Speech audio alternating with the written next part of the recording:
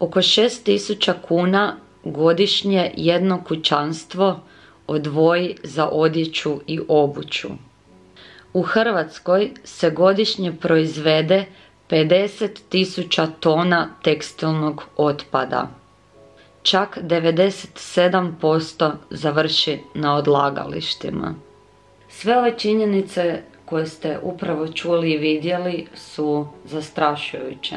Nažalost, u ovom videu čućete još jako puno činjenica koje su još gore.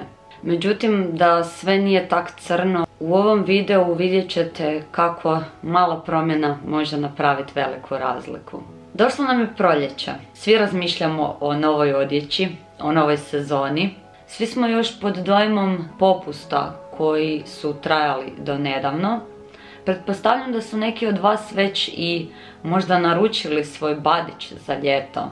O svem tom razmišljala sam i ja, sve do nedavno. Jedna od mojih novogodišnjih odluka bila je ta da ću ozbiljno početi razmišljati o odjeći koju kupujem. Ne samo o odjeći kakvu kupujem, nego da li mi uopće odjeća treba, koliko mi te odjeće treba. Ako ste me slušali u nekim od mojih vlogova, često puta sam sama sebe pravdala činjenicom to mi je posao, stalno mi treba nova odjeća. Na kraju dana ja sam fashion bloger, moram ljudima pokazivati novitete. Jer tko još želi vidjeti influencera da na pet slika na Instagramu nosi istu majicu ili istu torbu. Moram priznat da je prekretnica sveg tog bila zadnji haul video koji sam snimila na svojem YouTube kanalu gdje sam kao i sto puta prije toga odlučila prihvatiti suradnju jednog kineskog shopa. Dobila sam iznos u vrijednosti 200, 300, 500, više se ne sjećam dolara, u zamjenu da snimim video. Rekla sam ajde, treba mi nova roba, trebaju mi nove fotke za Instagram i kad mi je ta roba stigla, moj cijeli svijet se srušio. Ne znam zašto sam se uopće iznenadila, ta roba nije bila ništa niti bolje, niti lošije kvalitete nego ona prije, ali počela me savjest peći i to jako, jer nisam više klinka, bliže mi se 30. rođendan i ne želim ljudima poput vas, ne želim svojoj zajednici govoriti da kupuju nešto što ne valja, nešto što je jadno, ne želim vam mazat oči, ne želim glumiti nešto što nisam, ne želim, ne želim to, jednostavno ne želim. Zbog sveg tog donijela sam odluku da ću paziti šta ću kupovat i kako ću tretirati odjeću koju imam. Sva sreća, neki ljudi bili su puno brži i pametniji od mene i puno ranije su počeli razmišljati o odjeći. U današnjoj priči predstavit ću vam jednu jako posebnu socijalnu zadrugu. Zadrugu koja ne samo da brine o odjeći kao takvoj, već daje priliku ljudima s invaliditetom da rade u njoj, daje priliku starim komadima odjeće koje smo mi možda odbacili, daje im novo ruho ili u prenamjeni stavi u svoju ponudu. Ta socijalna zadruga ne samo da daje novu priliku ljudima i ne samo da daje novo ruho odjeći, veliku količinu te odjeće i reciklira i tak zatvara cijeli krug. Ostanite gledati ovaj video i upoznajte udrugu Humana Nova. U Zagrebu, u ulici grada Gospića 3, nalazi se socijalna zadruga Humana Nova. Humana Nova je društveno poduzeće koje potiče zapošljavanje osoba s invaliditetom i drugih društveno isključenih osoba, a sve kroz proizvodnju i prodaju kvalitetnih tekstilnih proizvoda od ekoloških i recikliranih materijala. Svojim djelovanjem aktivno izravno doprinosi izgradnji društva tolerancije. Također, aktivno doprinosi održivom razvoju lokalne zajednice, smanjenju siromaštva, ali na kraju dana očuvanju prirode. To je naš e, zagrebački centar, inače imamo još centar i u Čakovcu gdje je Humana i osnovana i centar u Istri, u Labinu i u Poreću. Do sada smo evo, e, uspjeli na neki način zbrinuti, oporabiti ili reciklirati preko 260 tona tekstila. Svaka znači, 260 tona. I impozantne brojke, stvarno, naravno zahvaljujući građanima koji su prepoznali da se humani e, mogu dostaviti svi njihovi tekstilni viškovi koji nastaju u kućanstvu. Dakle, građani nam direktno u centar donose svoje tekstilne viškove, znači to je odjeća i kući tekstil i obuća koji su u kućanstvu nekom više nepotrebni. Prosto kućanski e, tekstil, to je tipa posteljina. Posteljina, zavjese, deke, krpe, isto ono, sve što kažem netko više ne koristi, ne mora biti nužno za, za ponovnu upotrebu, može biti i za reciklažu. Bitno je samo da se taj tekstil adekvatno zbrine, dakle da on ne završi na odlagalištu sa drugim otpadom jer tekstil je vrlo vrijedna sirovina koja se u preko 95% slučajeva može E, oporabiti, odnosno ponovno reciklirati. Kao, što se od bilo koji drugi materijal odvaja, znači papir, plastika, staklo, metal, baterije, tako se isto treba i tekstilu pristupiti. Procjenjuje se da u Hrvatskoj godišnje proizvedemo 135 tisuća tona tekstilnog otpada. Najveći izvor otpada su kućanstva, a smatra se da je prosječan vijek trajanja odjevnih predmeta oko 3 godine, nakon čega se ta odjeća baca. Nerecikliranje odjeće povećava proizvodnju odjeće, a samim time i zagađenje za sve nas. Na primjer pamuk. Proizvodnja pamuka uništava poljoprivredna zemljišta i zagađuje vodotok. Možda je teško povjerovati, ali proizvodnja samo jedne pamučne majce zahtijeva 150 grama pesticida. Fuj, a da stvar bude još gora, pesticidi prodiru naše podzemne vode, truju ptice, pčele, ostale životinje, poljoprivrednike i posljedično sve nas. Da. U slučaju humane nove, dakle građani kažem, imaju opciju da direktno nama donesu centar, to odmah odlaze u sortirnicu, odvaja se ispravno od neispravnog i zapravo se u 100% količini tekstil adekvatno zbrinjava, oporablja ili reciklira. Ako pak niste u mogućnosti doći direktno u Humanu Novu ili na jednu od njihovih mjesta, postoje spremnici, spremnici za tekstil koje možete naći diljem, diljem Hrvatske. Ovo ovdje je karta. Ostavit ću link ispod ovog videa gdje ćete točno moći pronaći sve adrese spremnika i tamo odnijeti svoju odjeću. Evo ja na primjer e, donesem e, ove traperice k vama, ja ih više ne želim ili mhm. su mi premale ili su mi preveliki ili mi se više stil ne sviđa ili čisti mormar. Mhm. E, kakav je tipa postupak s ovim hlačama? Šta vi radite? Dakle, one su, vjerojatno nisu samo hlače, nego ima još nešto u toj vrećici što se ti donijela. Znači, doneseš ih izravno tu u centar. Na, na blagajni nam je ujedno i prijem donacija. Mi te donacije stavimo na vagu, s obzirom da je to naš princip poslovanja, dakle i ulazi i izlaz se mjeri težinski. Tako onda mi izmjerimo e, težinu te vrećice, ti se samo upišeš kao donator, znači da se nam daješ privolu da nam, da nam to, e, taj svoj e, tekstil doniraš. Potom on odlazi u sortirnicu, tamo se znači sortira, na, odvaja se od one koji je za ponovnu upotrebu od onog koji ima nekakvo oštećenje, odnosno mi procenimo da nije više za za ponovnu upotrebu. On ide dakle dalje se sprema i priprema zapravo za reciklažu, a traperice koje su evo poput ovih, dakle ispravne, nemaju uh, oštećenje među, međunožje, znači cip radi, uh, kumbi su tu, one su u cijelosti... I još su trapezice. I još su trapezice, one eto dolaze u, u dućan, uh, ako, kad se prodaju opet kažem idu na vagu, one po, po, onako po prosjeku imaju pola kilograma, dakle 20 kuna je cijena tih traperica, zato mi nemamo cijena na proizvodima. Tu ćemo vidjeti, to je dakle proizvodnja u Čakovcu, uh, gdje su također zaposleni u Šivoni prvenstveno osobe sa invaliditetom koje su čak i prošle uh, edukaciju za, za šivačice.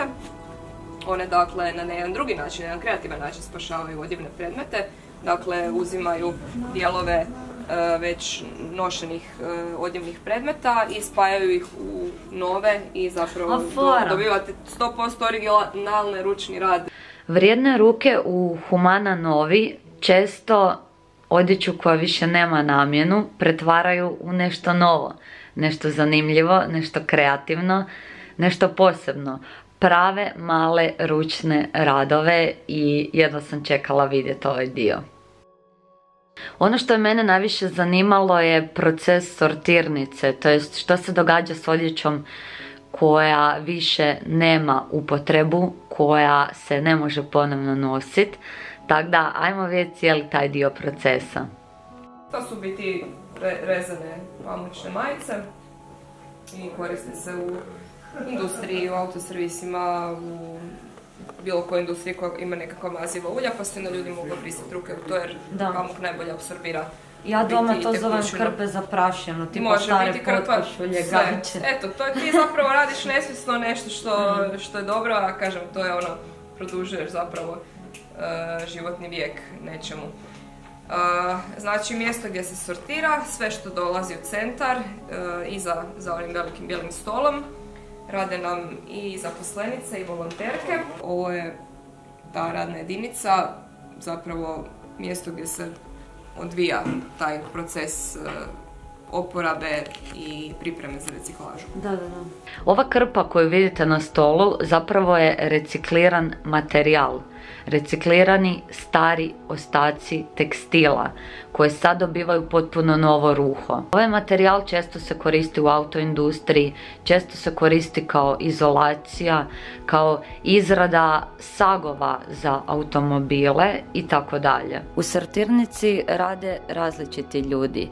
Neki od njih su volonteri, a o drugima ćete saznati upravo sad. Osim volontera, također e, zapošljavamo i, e, to jest uzimamo na društveno korisni rad ili rad za opće dobro osuđenike kojima je umjesto zatvora dodijeljena ta, takva sankcija. Dakle, to su nekakvi manji prekršaj i oni u biti nama najviše pomažu Nakon što smo vidjeli kako izgledaju komadi odjeće nakon što se recikliraju, ajmo pogledat malo odjeću kojoj još uvijek fali ljubavi.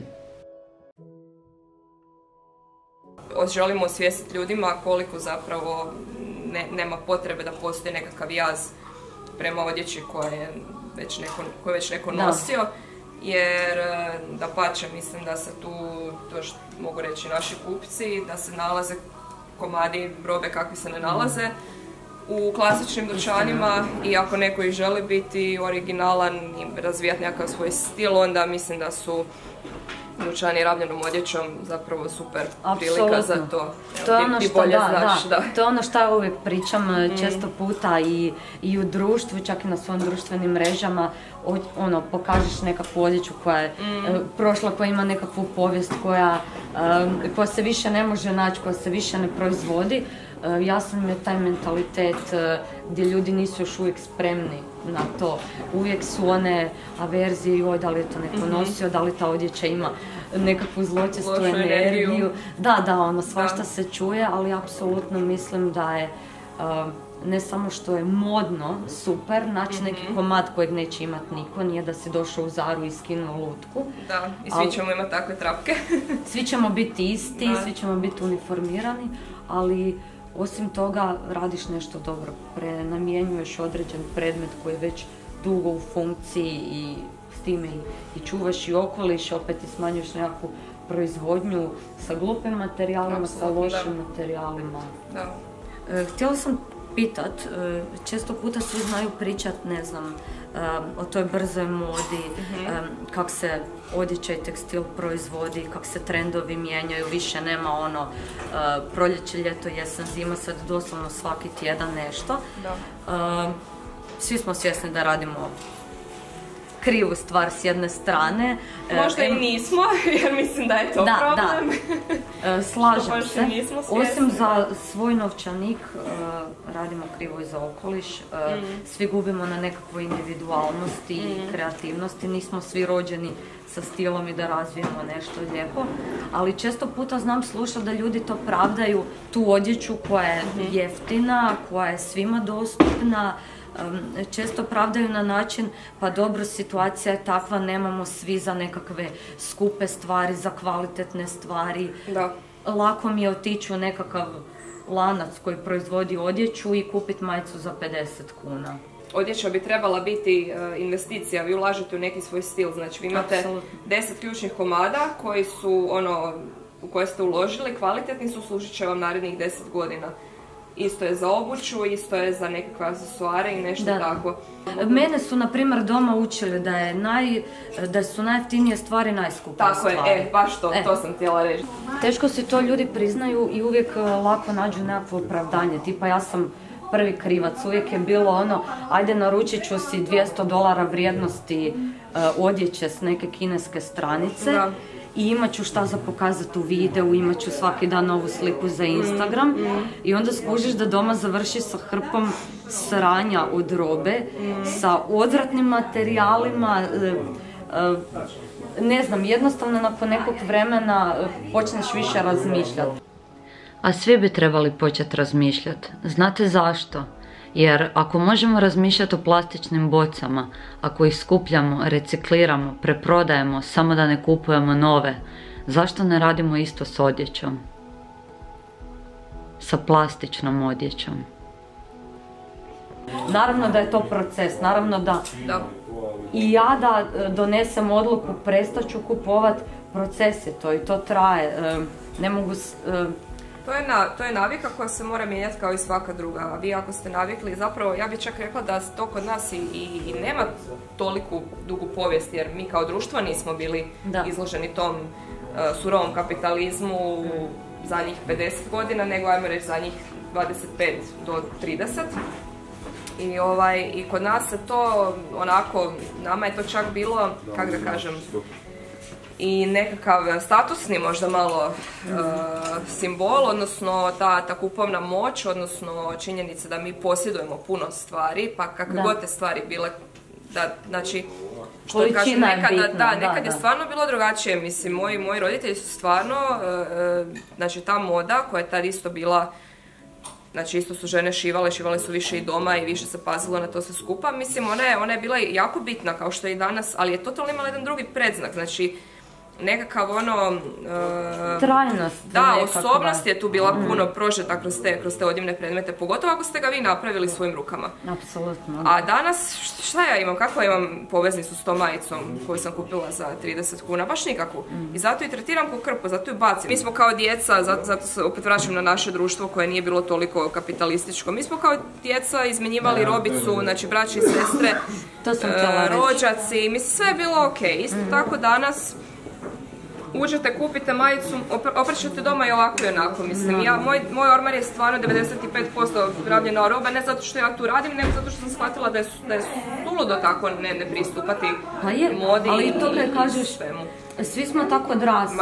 I ono kad ljudi kažu, ne znam, imam nešto što mi se više ne sviđa, što ne želim, ja isto uvijek svima kažem, prvo probajte naći uh, nekom vlasnika određenog da. kaputića. Nemojte odmah u, u, smeće ili nešto.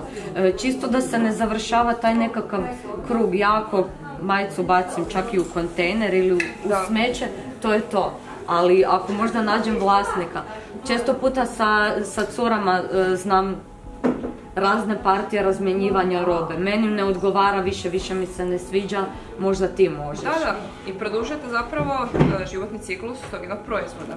Mislim da se o nekim stvarima bi se trebalo pričati više, ali opet informacije su tu. Informacije se mogu naći ako tražiš. Mislim da to ljudi ono da, nije to moj problem. Kako ja mogu utjecati s jednom majicom, ono, dok se mm. cijeli svijet ne promijeni? Apsolutno. Mislim, to je ono što ja jedan mogu, da, ali ja jedan ću pokazati nekom drugom, pa će taj drugi pokazati nekom trećem. Da, I lagano će se ta mreža širiti, znači, to je, pogotovo danas u tom našem globalnom selu, mislim, poruke da, će puno lakše, puno prije doprijeti. Evo. A upravo sada pokazat ću ja vama. Pokazat ću vam kakve cool predmete možete naći u second hand dućanima. I u Humani Novi i u ostalim trgovinama. Nemojte na odjeću gledat kao na nešto što je neko nosio. Vjerujte, puno puta, sto put bolje, kvalitetnije i ljepše komade možete naći u takvim dućanima. Moram vam priznat da je mene jako teško bilo odvući od ove odjeće. Našla sam sako, našla sam košulju, našla sam kožnu jaknicu, još hrpu stvari i vjerujte, takvu sreću ne može izazvat niti jedna druga kupovina. Koliko ste puta u životu čuli ili izrekli sljedeću rečenicu? Ajme, ova majica je toliko jeftina, bit će dobro ako je i dva puta obučem. Da li shvaćate šta je tu krivo? Koliko ste puta nešto kupili samo zato što je u trendu i kao ok ak je jeftino, ok ak je sranja materijal. Bitno da mi izdrži do sljedećeg trenda. Da li vidite šta je tu krivo? Po tome, ja bi uredno kroz mjesec dana mogla ovu leopard majicu bacit, jer bit će neki novi trend. Platila sam je 50 kuna. Nije mi žao, nije mi žao. Obukla sam je par puta, nosila sam je dok je bilo u trendu i onda ću je bacit. Koliko ste puta čuli da se svi rugaju Marie Kondo? Marie Kondo koja je napravila cijeli proces u sortiranju, slaganju robe. Često puta ćete čuti da ljudi komentiraju a, odjeću trebaš volit, s njom trebaš posebnu konekciju napraviti. Ona u tebi treba spark joy, kako kaže Marie Kondo. Pogledajte dokumentarac ak niste. Ali ja ću vama reći, možda je Marie na pravom tragu, jer svaki komad odjeće kojeg kupite trebate voljeti. Svaki taj stari predmet u ormaru koji imate trebate početi gledati drugim očima i jednostavno postati kreativni.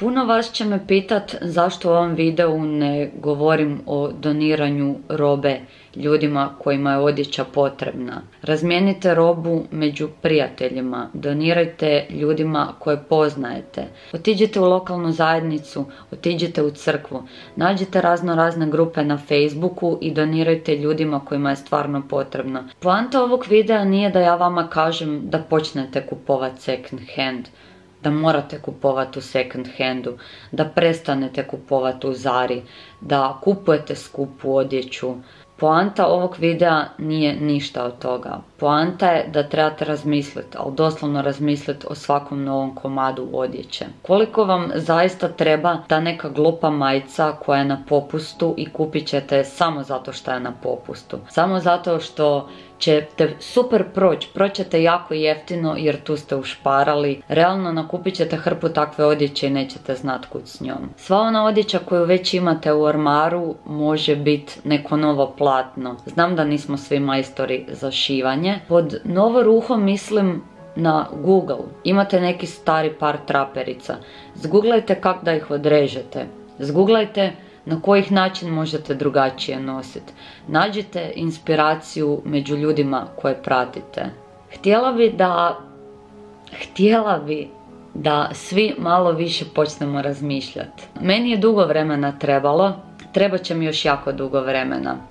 Vidim da je sve više brendova, tvrtki i jedan dosta velik dio modne industrije počeo obraćati pažnju na ove stvari.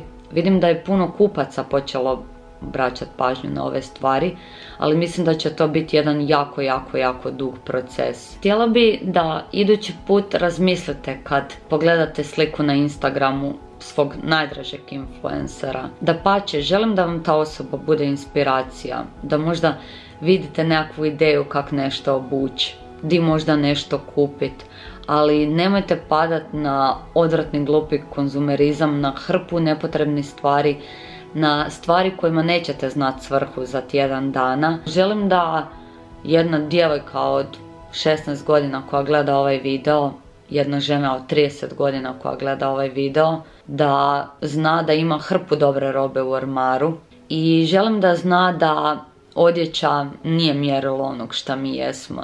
Znam da zvuči ko klišej, ali stvarno je bitno da se puno puta svi podsjetimo na to i krenemo djelovati u novom smjeru. U takvom smjeru krenula je djelovati i divna socijalna zadruga Humana Nova koju sam vam predstavila u ovom videu. Sve što oni rade je prikupljaju vaše donacije. Te donacije onda sortiraju. Sva roba koja je još uvijek lijepa i kvalitetna stavljaju je u svoj dućančić sva roba koja nije ide direktno u sortirnicu. Tamo se miču cifršlusi, gumbi, razdvaja se tekstilo od tekstila s jednog odjevnog predmeta i onda sve to šalju jednoj tvrtci koja obrađuje sav taj tekstil i proizvodi onu malu sivu krpicu koju ste mogli vidjeti u videu.